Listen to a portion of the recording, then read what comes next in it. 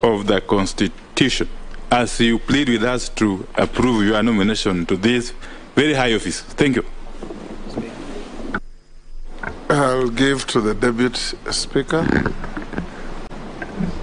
Again, Honorable Wahome, congratulations. As a woman, I'm immensely proud of your your getting this far. Um, as She you know, not said the same to any man yes, with a light touch. She has Possibly not said the same to affirmative any man.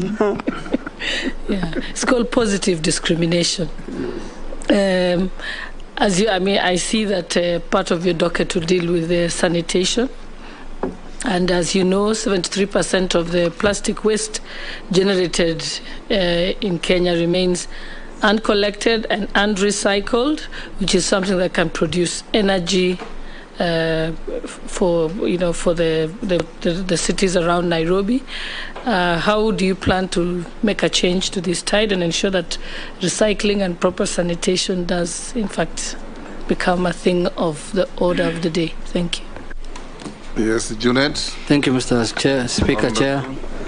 Chair, I wanted to ask uh, the nominee that uh, the docket that she has been nominated for is a docket that requires it is services all over the country.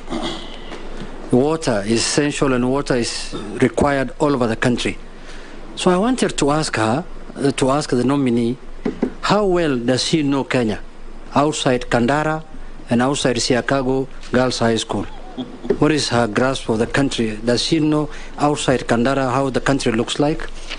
The second question I wanted to ask, and my last one is there is a matter that came up in 2016. I think I was in Parliament when uh,